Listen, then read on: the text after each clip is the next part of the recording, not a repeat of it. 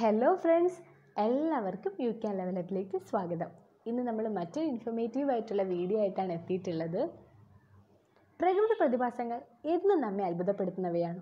അത്തരത്തിലൊരു പ്രതിഭാസമാണ് ഭൂമിക്കടിയിൽ നിന്നും ഉയർന്നു പൊങ്ങുന്ന തിളച്ച വെള്ളം. ഏ ഭൂമിക്കടിയിൽ നിന്ന് തിളച്ച വെള്ളം? എങ്ങനെയാണ് ഇത് പുറത്തു വരിക? എവിടെയൊക്കെ ഇത് കാണപ്പെടുക? എല്ലാ സ്ഥലങ്ങളിലും ഇത് കാണാൻ പറ്റുമോ? ഇല്ല എല്ലാ സ്ഥലങ്ങളിലും ഇത് കാണാൻ കഴിയില്ല.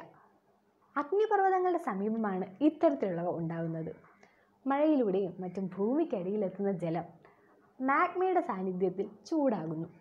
എന്താ ഏർത്തിന്റെ ഉള്ളിലായിരിക്കുമ്പോൾ ഇതിനെ മാഗ്മയെന്നും പുറത്തു വരുമ്പോൾ ലാവയെന്നും അറിയപ്പെടുന്നു. ഓൾക്കാനിക് ഇറപ്ഷനിലൂടെ തിളച്ചു മറിഞ്ഞു വരുന്ന ലാവയുടെ ചിത്രങ്ങൾ നമ്മളെല്ലാവരും കണ്ടിട്ടുണ്ടായിരിക്കുമല്ലോ. മഴയിലൂടെയും മറ്റു ഭൂമിക്കടിയിലെത്തുന്ന ജലം ഉയർന്ന മർദ്ദത്തിൽ ഇതുപോലെ പൊങ്ങി വന്ന് ഭൂമിക്കിടയിലുള്ള ഹോൾസിലൂടെ പൊട്ടിത്തെറിക്കുന്നു. ഇതാണ് ഗേഷ്യസ്. ലോകത്തിന്റെ വിവിധ ഭാഗങ്ങളിൽ ഇത് കാണാൻ സാധിക്കും. പക്ഷേ നമ്മുടെ ഇന്ത്യയിൽ ഇതില്ല കേട്ടോ. അതിന് പ്രധാനപ്പെട്ട കാരണം ഇന്ത്യയിൽ ഓൾക്കാനസ് ഇല്ല എന്നത് തന്നെയാണ്. ലോകത്തിലെ ഏറ്റവും പ്രശസ്തമായ ഗേഷ്യർ ഏതെന്ന് ചോദിച്ചു കഴിഞ്ഞാൽ നോർത്ത് അമേരിക്കയിലെ യെല്ലോ സ്റ്റോൺ നാഷണൽ പാർക്കിലെ ഓൾഡ് ഫെയ്ത്ത്ഫുൾ ആണ്. അഥവാ വിശ്വസ്തനായ കിഴവൻ.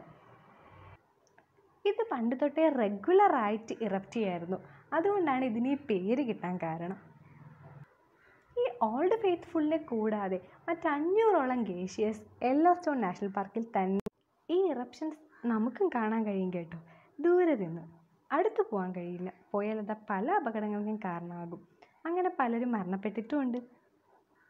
കൂടാതെ ചില സമയങ്ങളിൽ നമുക്കത് നനയാനും പറ്റും. എത്ര നേരം ഈ ഗേഷ്യസ് ഇങ്ങനെ പൊട്ടിത്തെറിക്കുമെന്ന് അറിയാമോ പല ഗേഷ്യസും പല രീതിയിലാണ് പൊട്ടിത്തെറിക്കുന്നത്. ചിലത് ഒരുപാട് നീണ്ട നേരം പൊട്ടിത്തെറിക്കും. ചിലതാണെങ്കിൽ കുറച്ച് നേരം മാത്രം. ഓൾഡ് ഫെയ്ത്ത്ഫുൾ മുക്കാൽ മണിക്കൂർ മുതൽ രണ്ട് മണിക്കൂർ വരെ ചില സമയങ്ങളിൽ ബ്ലാസ്റ്റ് ചെയ്യാറുണ്ട്. ചിലപ്പോൾ ഇത് അഞ്ച് മിനിറ്റ് മുതൽ പതിനഞ്ച് മിനിറ്റ് വരെ ചുരുങ്ങാറുമുണ്ട്. അതുപോലെ ഇതിന്റെ ഉയരവും മാറിക്കൊണ്ടേയിരിക്കും. നാനൂറ് അടി വരെ ഉയർന്നു പൊങ്ങിയിട്ടുണ്ട് ഈ ഗേഷ്യസ്. ജലത്തോടൊപ്പം നീരാവിയും പുറത്തു വരും.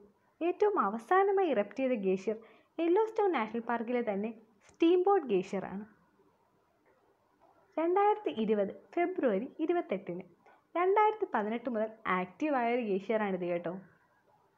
ഈ ഗേഷ്യസിന്റെ സ്വഭാവം വ്യത്യസ്തമാണ് കേട്ടോ. ചിലത് കണ്ടിന്യൂസ്ലി ഇറപ്റ്റ് ചെയ്തുകൊണ്ടിരിക്കും. ചിലത് ഒന്നോ രണ്ടോ പ്രാവശ്യം മാത്രം. എർത്ത് കേക്കും ലാൻഡ് സ്ലൈഡ്സും ഒക്കെ ഈ ഗ്ലേഷ്യേഴ്സിന്റെ നാശത്തിന് കാരണമാവാറുണ്ട്.